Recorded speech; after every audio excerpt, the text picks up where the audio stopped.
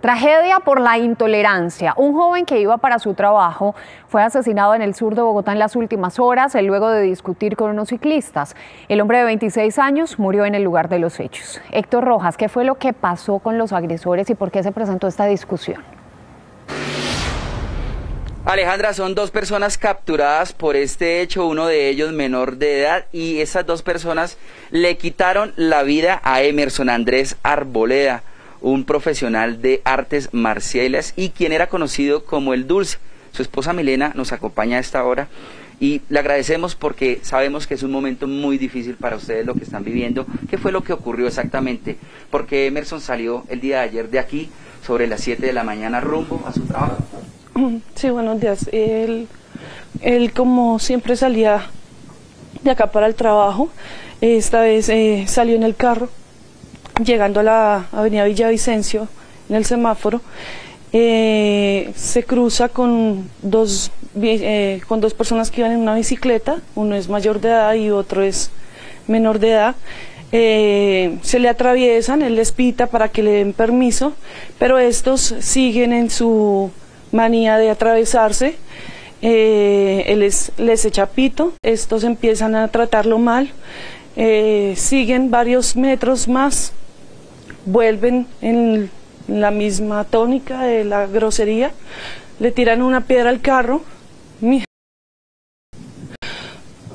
Emerson, deportista de artes marciales, acaba de ganar su, su pelea que lo catapultaría a la parte profesional.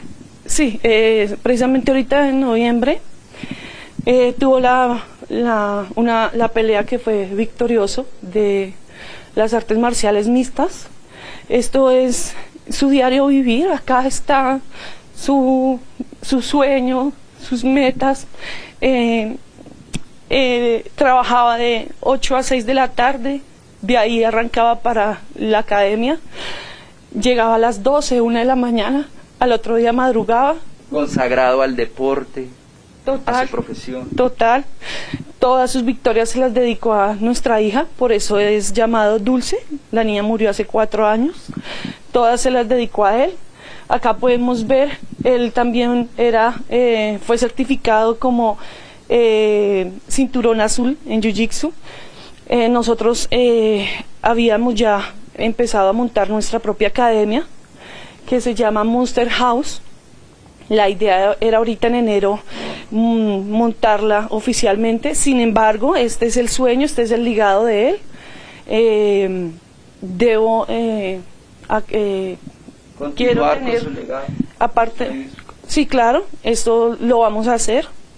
lo voy a, este fue la tarea que me dejó y se la voy a cumplir. Milena, un caso lamentable, intolerancia en las vías.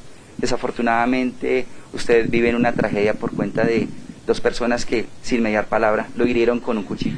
Sí, eh, uno, como les decía, uno de los dos es menor de edad. Eh, se cogieron los dos, antes se cogió el menor de edad.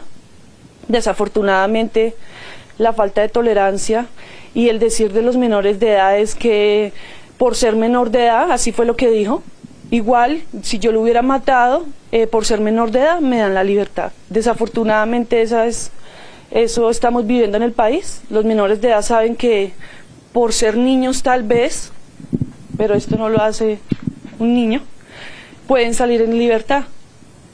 Entonces el que lo hirió es el mayor de edad y ya está en este momento en juicio. Milena, muchas gracias, pues sentimos la pérdida de este deportista que era conocido como el Dulce, un hombre de 26 años que lamentablemente murió el día de ayer en las vías por cuenta de un acto de intolerancia sobre estas dos personas que fueron capturadas en el día de hoy serán presentadas ante un juez y judicializadas. Héctor Rojas, Noticias Caracol.